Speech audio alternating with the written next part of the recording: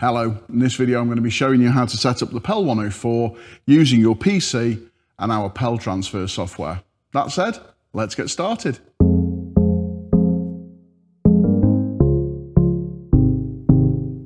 So there's a couple of things we need to make sure of before we get started. So we've got the PEL 104, it's connected up to a power supply to the mains via the figure of eight lead at the bottom there.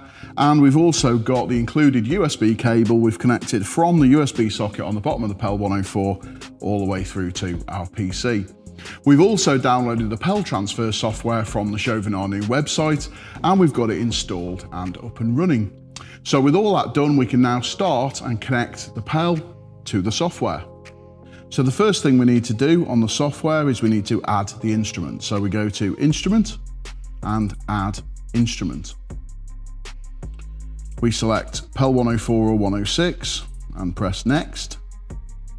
And we've got a list of various connection options. In this case, we're connected via the USB cable. So we tick that option and again, press next.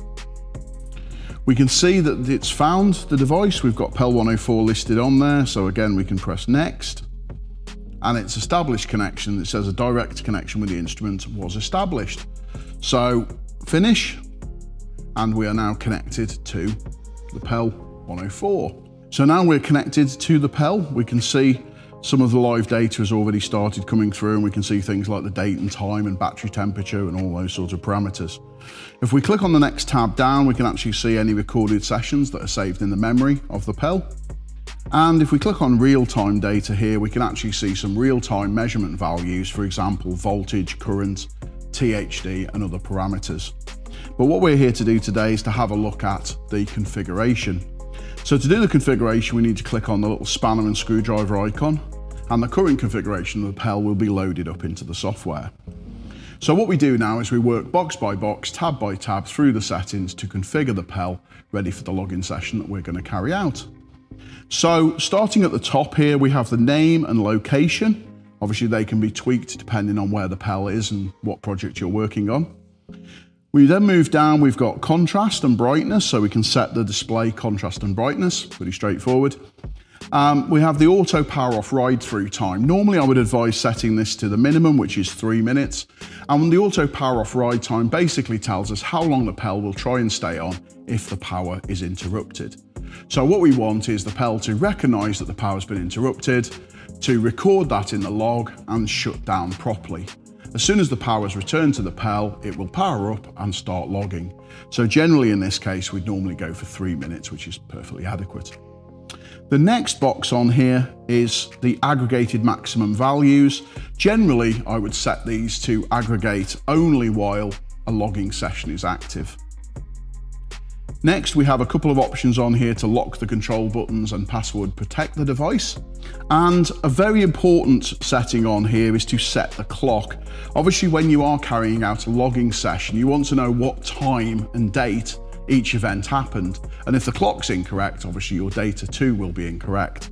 So it's important to check how far your PEL actually differs from the clock built into your PC.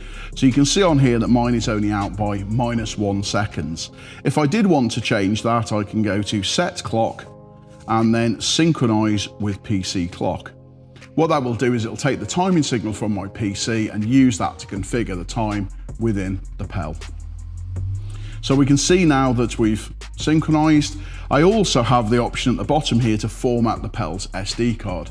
So we can format that before we start the session to make sure we've got enough room. However, the SD card is very large and you can fit several logging sessions usually onto, onto one card. So in this case, I'm not going to format the SD card, but the option is there should we need it. Now moving on to the communication tab, this being the PEL 104, there are many communication options. So we've got the option for Bluetooth, LAN, Wi-Fi, GPRS or 3G connection, and the IRD or the relay server.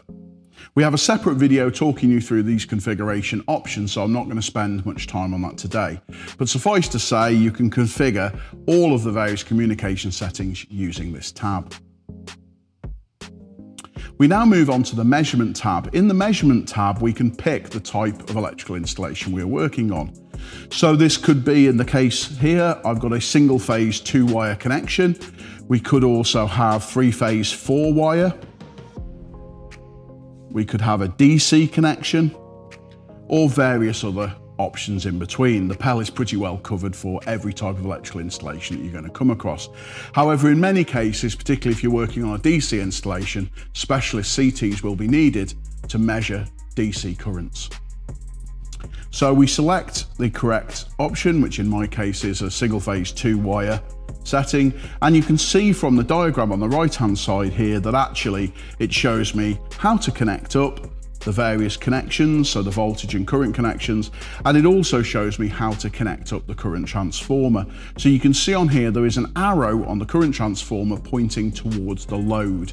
That's very important and it makes sure that when you look on the side of your CT that the little arrow that's embossed in the plastic is pointing in the same direction as it is on this diagram, which is normally towards the load.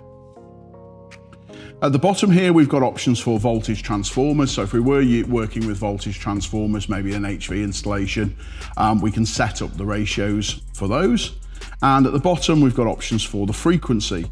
So the PEL 104 will work at 50, 60 and 400 Hertz, and I've set it to automatically detect the frequency that it's working on in this case. Moving on to the current sensors tab, generally the PEL 104 will detect the current sensors that you have plugged into it and configure accordingly. In this case, we have an MA194 flexible CT connected to the PEL 104 and that's automatically been detected. All I need to pick is the closest range so that the PEL can configure itself to give me the best resolution measurements. So in my case, I've picked the 100 amp range on here. Now we do have the option to increase the number of wraps so the number of wraps with a flexible CT means I can wrap it around the cables. This gives a better coupling between the Rogowski coil and the, the cable that's being measured, the current field that's being measured.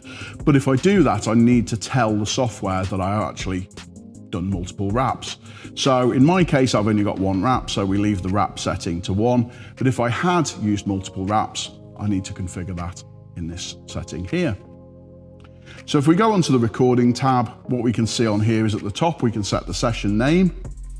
Below we have the option to record now, so the recording will start immediately, or we can set a scheduled recording. Now we've got options here. We can either pick the duration of the recording and it will work out the start and stop times for us, or we can actually start and stop the recording time based on the exact values that we type in.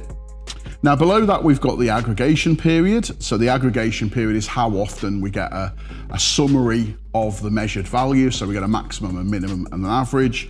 And this can range from one minute all the way up to 60 minutes depending on what value we want. Now below that, we've got options for the level of data that we actually want beyond just the, the standard aggregated data. So we can record individual harmonics for current and voltage if we wanted to, up to the 50th harmonic.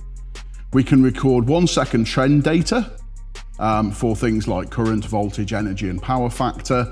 Um, and this being the PEL 104, we can actually go down even below that to 0.2 of a second or 200 millisecond data should we want. So down at the bottom of the page, we've actually got two useful bars on here. So the first bar is tell us how much uh, memory has been used already on the SD card. And the second bar is telling us how much memory we would need to carry out the logging session. So this is a quick check for us to make sure before we carry out the logging session that we've got enough space left on our SD card. Moving on to the next tab, we have the meters tab. So within the PEL 104, we have a number of meters which will keep track of values over time during the logging session. For example, energy values. So we can compare these to say an energy meter within the fixed installation. So we have the option on this tab to reset those meters before we start the logging session. And generally it's a good idea to do that. Now, other features that are available only on the PEL 104 we have alarm conditions. So we have the ability here to actually configure in advance alarms so for example, if the voltage goes above or below a certain value, we can set that within the software and it will record those alarms. We also have the option via the IRD server to send emails if those alarm conditions are triggered. We can set up nominal values within the device. for example 230 volts for our mains voltage or 50 Hertz for our frequency. The L452 tab is a special function which allows us to use via Bluetooth the PEL 104 with our L452 universal logger.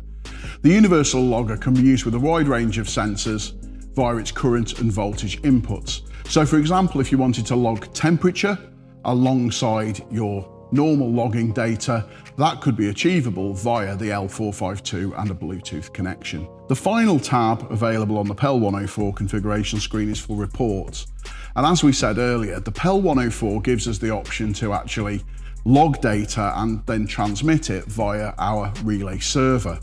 We have a separate video on these functions, so I won't go into them in too much detail now. But what we can do with this is we can actually configure reports and input email addresses, and the PEL 104 via a network connection will actually send reports at set intervals given the data or the message that we've pre-configured. So once we've configured the data, we click OK, and that data is then sent from the software into the PEL, and the PEL is configured, ready to go for our logging session. Hopefully you found that useful and you can see now how easy it is to set up the PEL 104 using the PEL Transfer software on your PC. If you've enjoyed this video, please take the time to pop down and give us a like. And if you want to see more videos like this, please subscribe to our YouTube channel. Thank you for watching and I look forward to seeing you on another video again soon.